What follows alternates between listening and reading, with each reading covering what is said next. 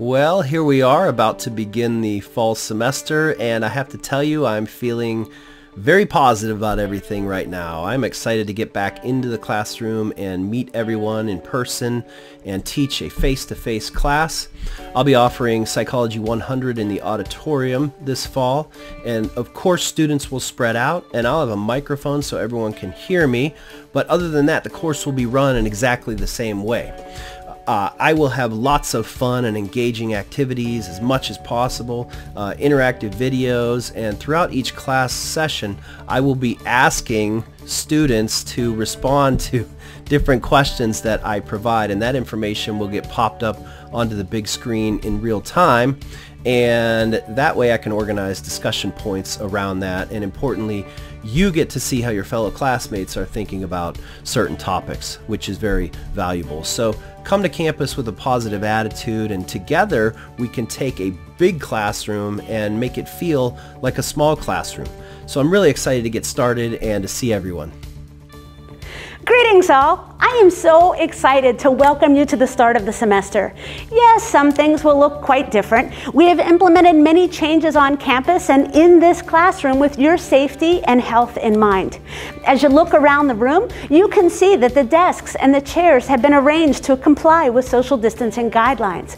Of course, we will all be wearing masks, but fret not. I will be using a microphone so that my voice will reverberate throughout the room. Now, doesn't that just draw you in? However, I want to encourage you that not all change is bad.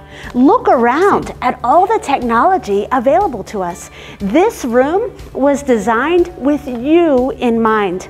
There are six different screens placed around the room. So as you and your fellow students create content using your mobile device or laptop, for I often use in-class activities to keep you engaged. You can display it on, your, on one screen for your team members to see, or we can display it on all six screens so that all classmates can see.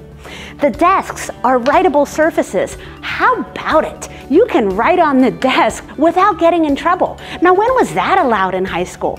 Of course, you may want to bring your own dry erase marker and uh, eraser, again, with your safety and health in mind.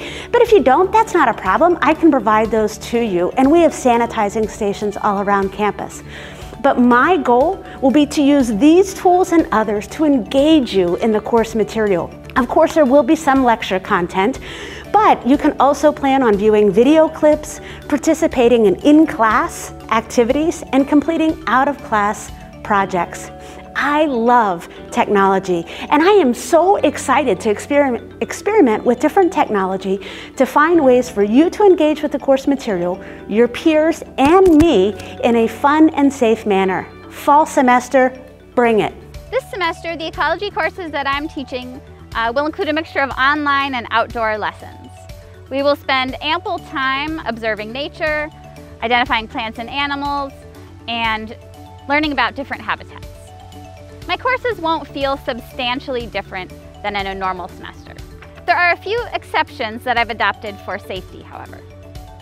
Sometimes I'll be splitting my larger labs into two smaller groups that will rotate. Half of the students will meet with me to conduct fieldwork, the other half will work on literature research or video group projects, and they can choose to meet physically together on campus or remotely from home. These smaller groups come with side benefits. They will allow my students and me to become better acquainted and allow for more personalized attention. Lab activities that are computer-based will now be held remotely, with students having the choice to work from home or from campus computers. Rather than introducing lab activities inside the classroom, um, I will be making short background videos, kind of like this one, to introduce students to the activity, or I will be talking about field methods near the pavilion, out on the lawn, or in our natural areas. I'm also weirdly excited about the new megaphone that I've ordered that should allow me to be easily heard despite my mask. In lieu of a face-to-face -face field trip to learn about wetland ecology and delineation, I'm actually working with Conservation District staff and a Media Commons consultant to film a field trip. I'll augment the video with a Q&A session with the environmental educator and also by bringing samples of soils and plants on campus for students. This combination of activities should give students a really robust introduction to wetlands without the need to travel.